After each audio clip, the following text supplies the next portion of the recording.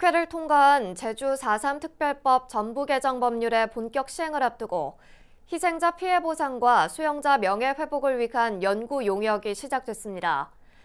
4.3 사건의 완전한 해결을 위한 전기가 마련됐다는 평가가 나오는 가운데 풀어야 할 과제들도 적지 않아 보입니다.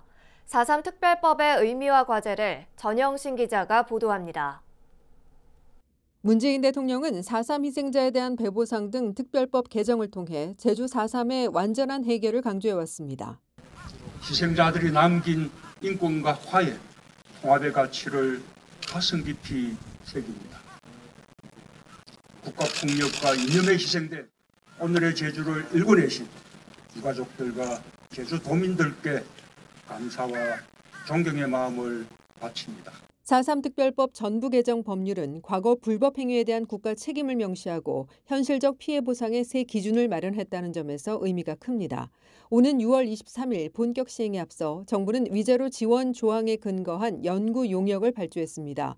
지난 1999년 12월 특별법 제정 이후 22년 만으로 그동안은 위령 사업이나 의료, 생활지원금에 대한 규정만 담겨 있어 반쪽짜리라는 비판을 받아왔습니다.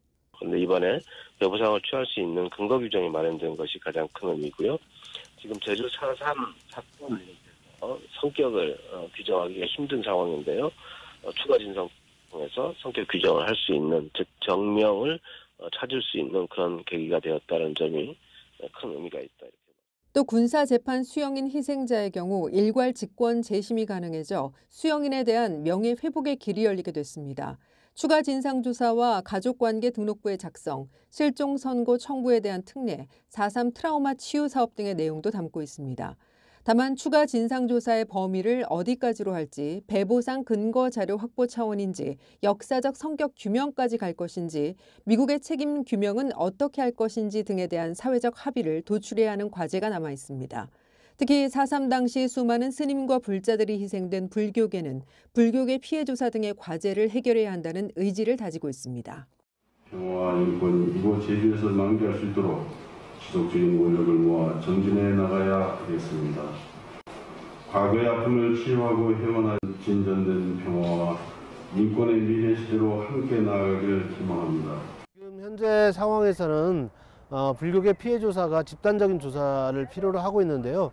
어, 그렇지만 종교 시설의 피해에 대해서도 국가가 책임 있게 접근하는 모습 보여야 할.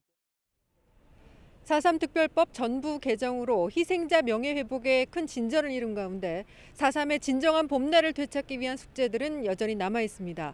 청와대에서 BBS 뉴스 전영신입니다.